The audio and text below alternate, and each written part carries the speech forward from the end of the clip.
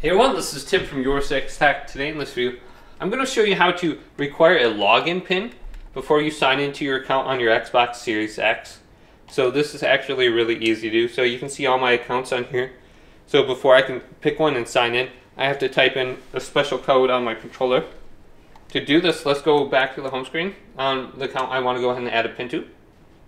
Go to General, go to Online Safety and Family, then go down to Family Settings, then, under here, let's go to My Sign In Security Pin.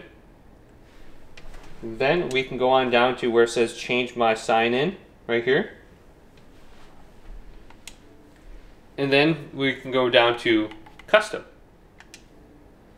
Then go to the right and go to Ask for My PIN at Sign In.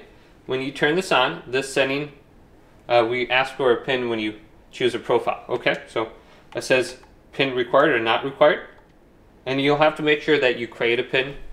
So on the last screen, there was an option to create a pin. I'll show you that in a second.